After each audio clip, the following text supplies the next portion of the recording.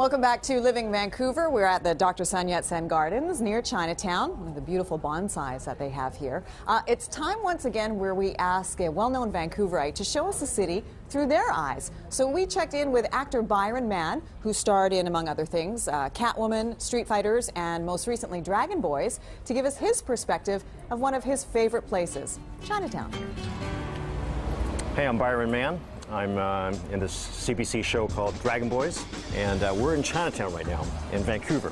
One of my favorite places to go to for uh, Chinese bakery and for Chinese tea is this place called Newtown Bakery. It's been around since 1980. It is the place for Chinese bakery and tea. I'll show you how. Let's go.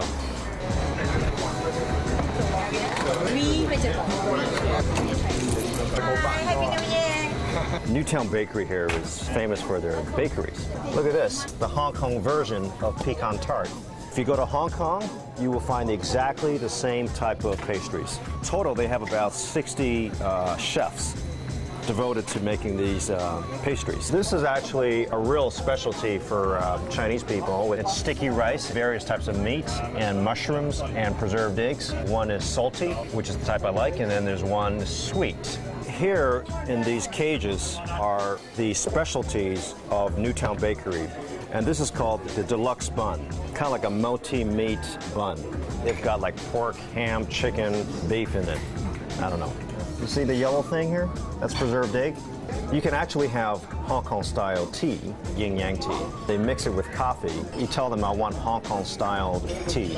Otherwise, they may just give you Lipton tea. They won't tell me the name of the tea bag. I asked them, and they said it's a very specialized secret type of tea bags, and then they brew it for about eight to 10 hours before they serve it. Condensed milk is a staple in uh, Chinese eateries. They use condensed milk on, on toast.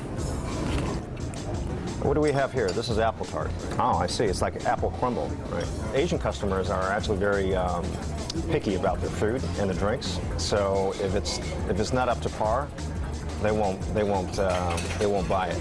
And you taste both the tea and the coffee. Yeah. Now that we've got some great yin yang tea, I'm going to take you to the, where the night spot is. So we are in the middle of this intersection. It's Main and Keefer in uh, Vancouver Chinatown, which, by the way, is the second largest Chinatown in North America, right behind San Francisco. Now, there is a night market that happens here between the months of May to October. From the end of that block over there, and it goes all the way down there. Hundreds and hundreds of stalls selling diesel jeans, DVDs, CDs, fish balls, buns, jewelry, anything that you want, anything that you can imagine, they'll have it here. So I'm Byron Mann, and these are two of my favorite places to go to in Chinatown. Newtown Bakery and the Keefer and Main Night Market in Chinatown, Vancouver.